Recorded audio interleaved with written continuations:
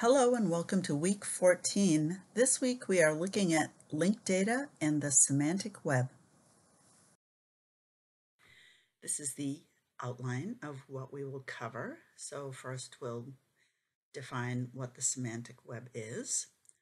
Then we'll look at linked data and the semantic web, what that is and what it means.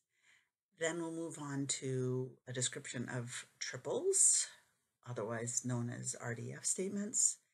Then we'll move on to records and how they uh, compare to statements.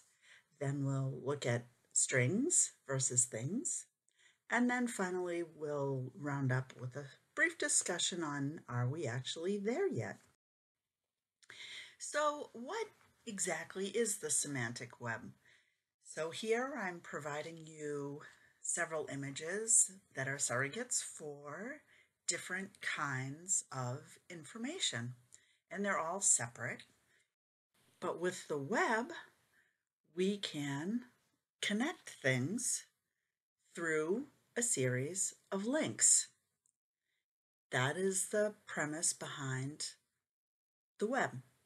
In terms of the semantic web, the semantic web uses linked data, and we're not talking about resources, we're talking about data.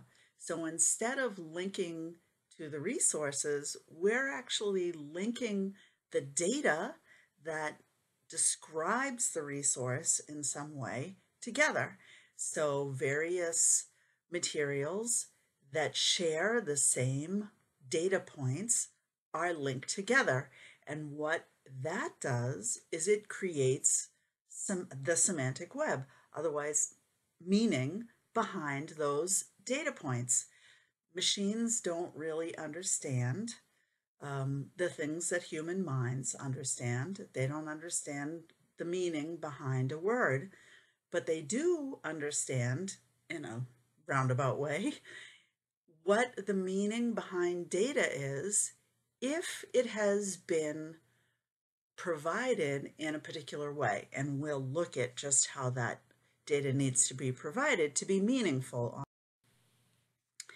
So in the typical web situation, links connect one page to another page. That's, that's what the web is all about.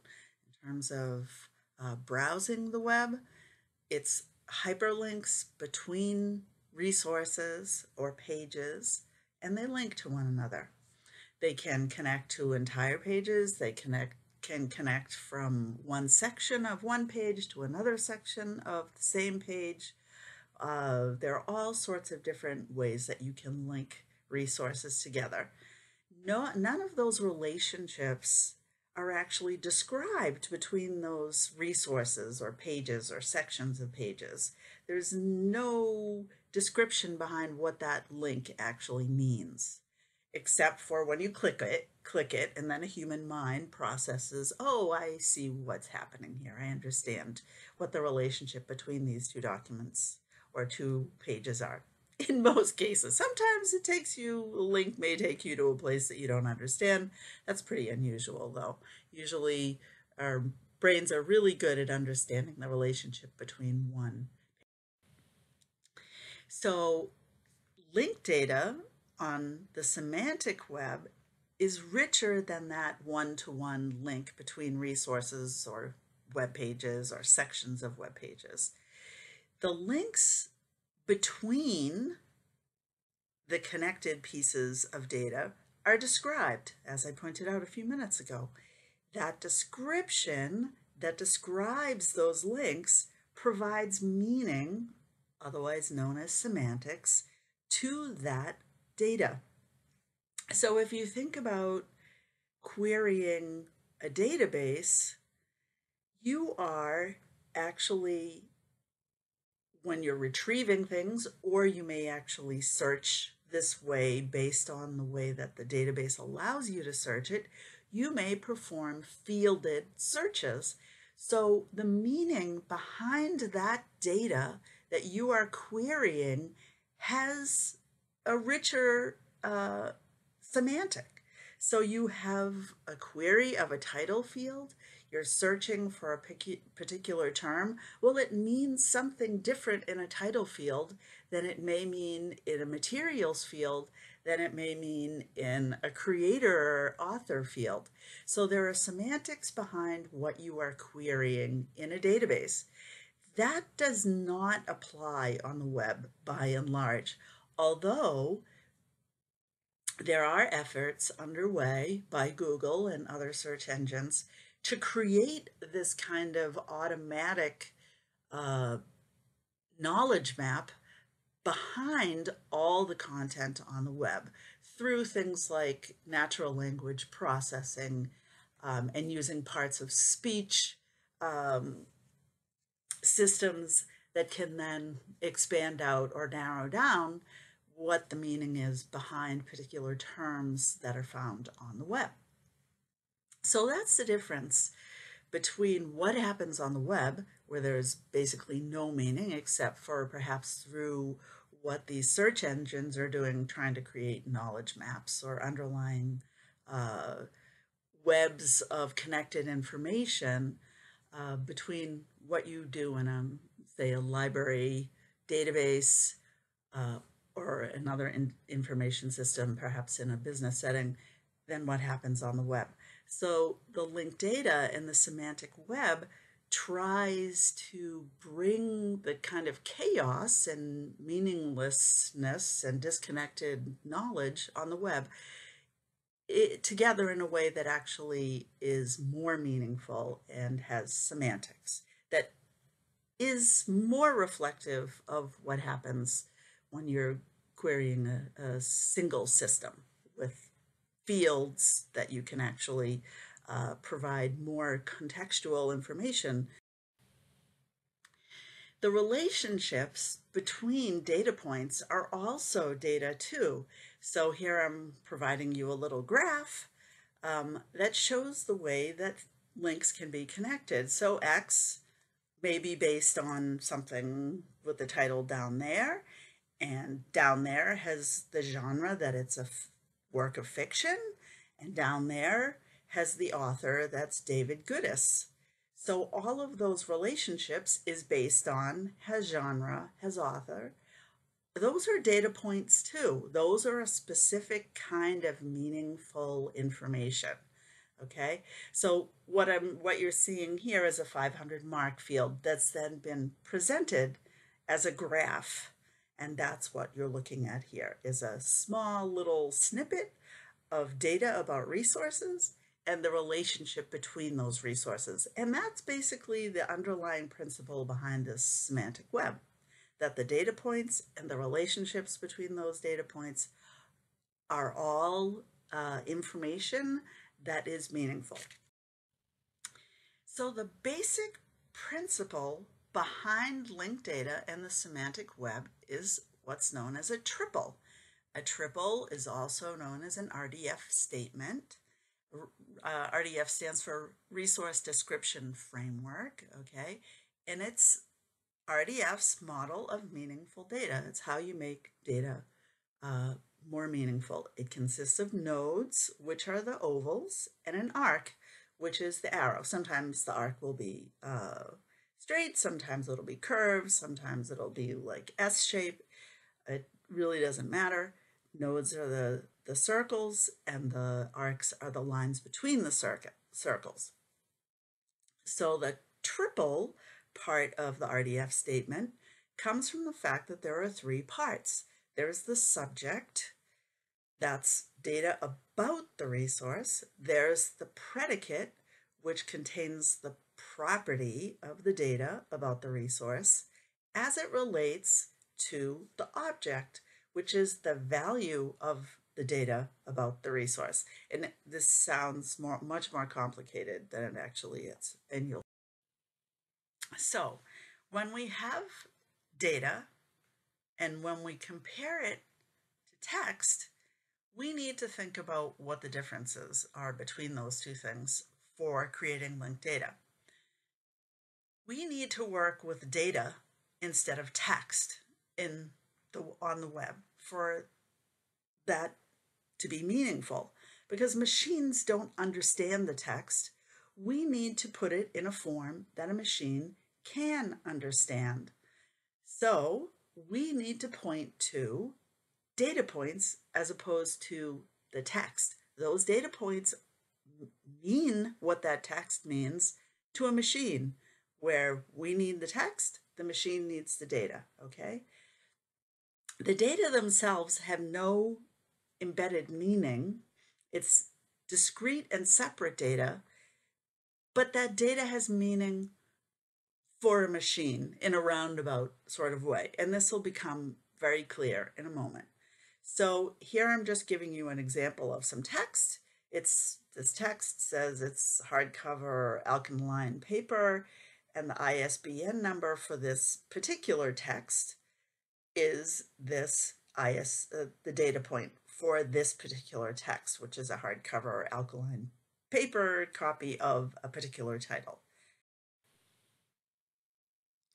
So those data points that we need to create the underlying semantics um, are represented through URIs, Uniform Resource Identifiers. So each thing that we're trying to represent, whether it's a title, a subject, an object, a person, any type of data point that we're trying to represent, is identified through using a URI. They're discrete and it specifies a, a particular thing and um, there can be multiples for each particular thing and they can all be linked together. Those data points are meaningful and that's the important takeaway here. So each of those URIs provide a link to the exact item and the meaning behind that particular thing that's being uh, represented. The uh, there's a real nice addition that comes with those URIs, and that is that since language is largely removed from those bits of data that are meaningful, it's international in scope since the language is removed. So here I'm showing you three URIs for this same title or text. So one from Amazon, one from the Library of Congress, and another one from the Open Library, all pointing to the same title of this resource. So URIs, that's the underlying principle behind everything that happens with linked data. So identifiers are people that are obviously things to be described, so they also need to be identified. So this one is, uh, these three URIs that I'm presenting here are for Jim Hightower, the author of the text that I just showed the URIs for. There are a number of different ways that you can identify authors. The most common one that's used for the semantic web is the Virtual International Authority File, or the VIAF.org. Uh, it's actually hosted at OCLC. And so here I'm providing you three URIs, all representing identifiers for this single author, Jim Hightower. Places are also things to be described, so they also need identifiers. And so the, identifi uh, the identification of place for the title, There's Nothing in the Middle of the Road But Yellow Stripes and Dead Armadillos, is Texas. So here I'm providing you three URIs to uh, data points that represent Texas. So now we need to have a brief discussion about what the difference is between a record versus statements. So in our typical library record or in a business setting, you'll have a record. It's a typical model for describing items. It consists of a series of statements that describe the item, a single item usually. Each statement has a property, what we've called an element or field, and a value that's representative of that item in that element. So on the table on the right, you see the property is that element or field name, and then you have the value for that particular item. So we have creator is Jim Hightower, the property of date has the value of 1997, the property for publisher has the value HarperCollins, the subject is American Wit and Humor, and so on and so forth. So that is a record. It has a property, and those properties have associated values that describe an item. And this look very, very familiar. Now, when we have statements, we, we're going to go through several screens and you'll see each time that each one of these columns has been transformed to a URI. So in this first case, we're looking at, okay, so we have this resource, which is the particular item that we're describing, has such and such a property, and that's the predicate. So this title, or this item, I should say, this item that's contained within the Library of Congress's uh, library system has this particular title, and then there's nothing in the middle of the road but yellow stripes and dead armadillos. This particular item, held in the Library of Congress, has creator Jim Hightower, that's the author. This particular item has the date 1997, and so on and so forth. So we're starting to create our statement uh, as opposed to looking at things uh, in the typical record format. Now we're creating those RDF statements. So the first step was to create um, or provide a URI for the particular item that's being described. And here we're using the Library of Congress's um, unique identifier for this particular item in their library.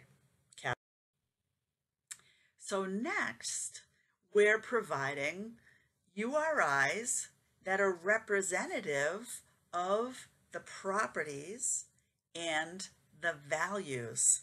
So we have on the very left, again, the item as it's represented in the Library of Congress's catalog. It has a unique identifier, so it's one particular item.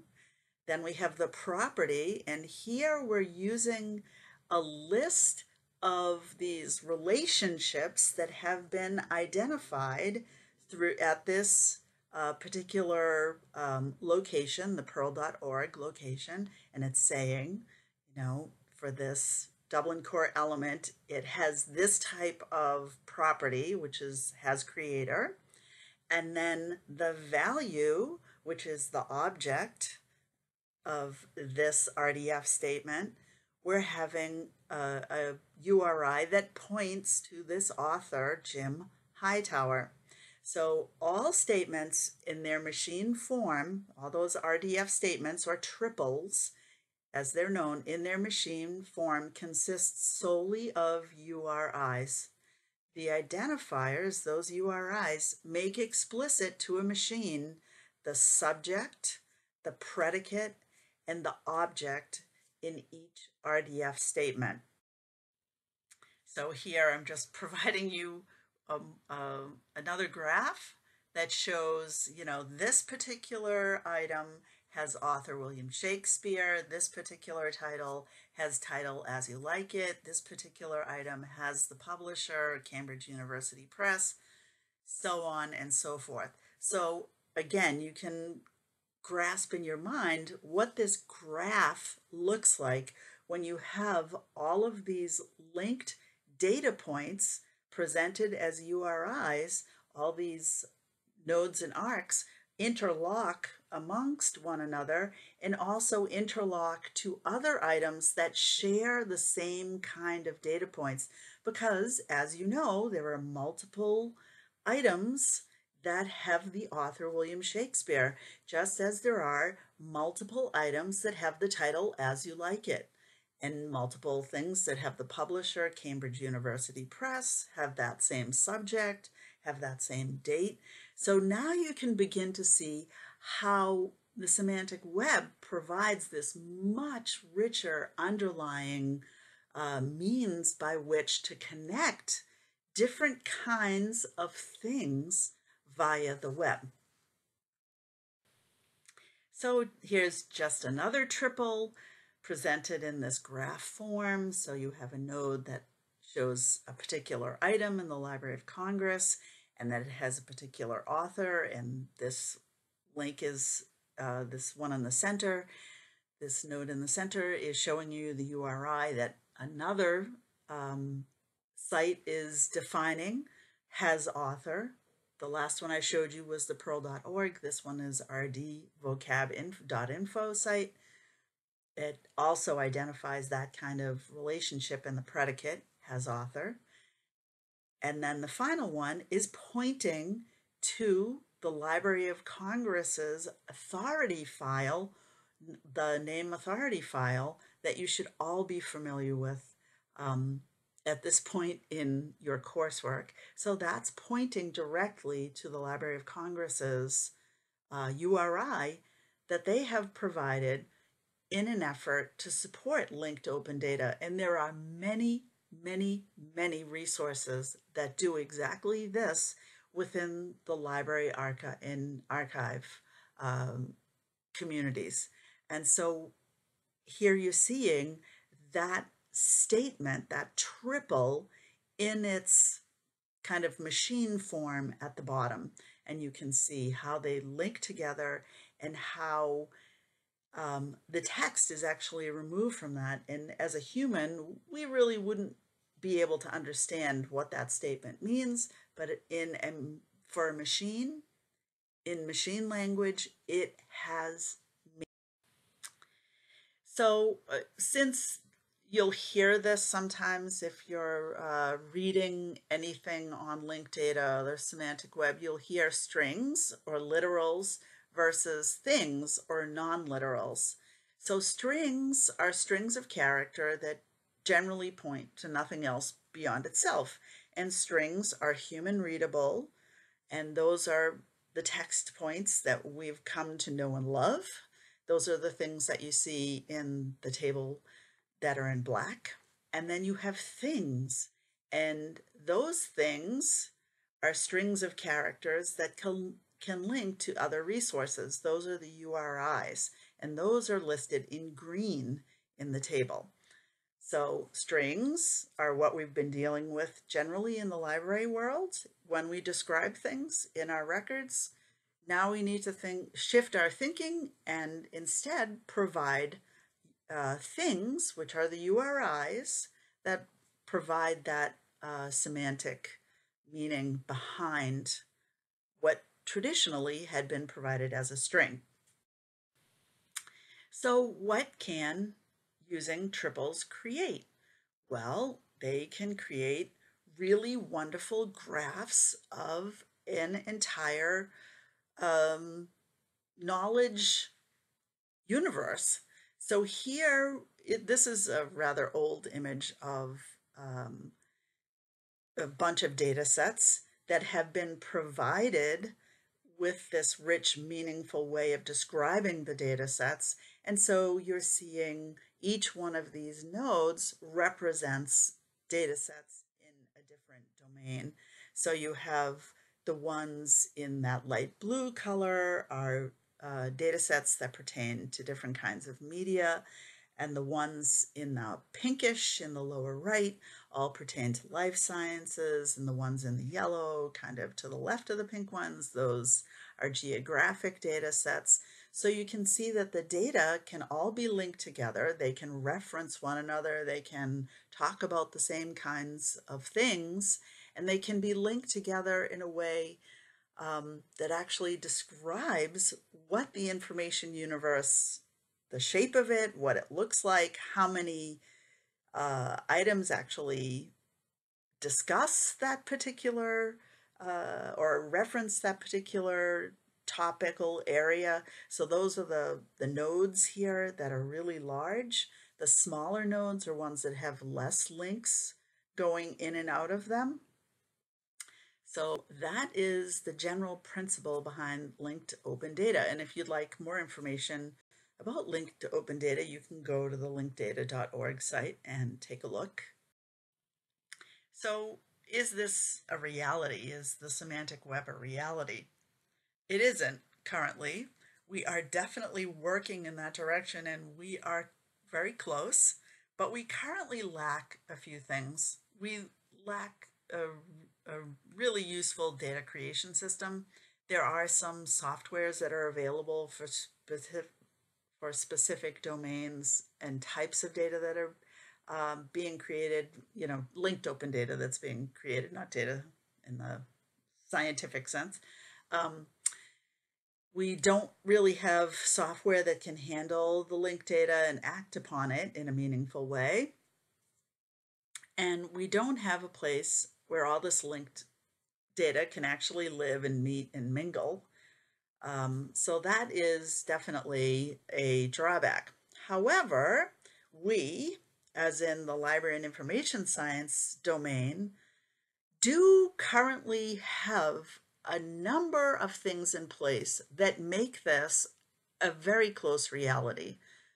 Many of the needed components are there we have been using these components for a number of years. And here you should be thinking about all the standards that we have in place because we know that we need a single way to represent particular kinds of information so that they are searchable and retrievable in a way that individuals don't have to search on like a thousand different variations. They can search one particular term or individual and return all items with that particular concept or that particular individual assigned to that particular item.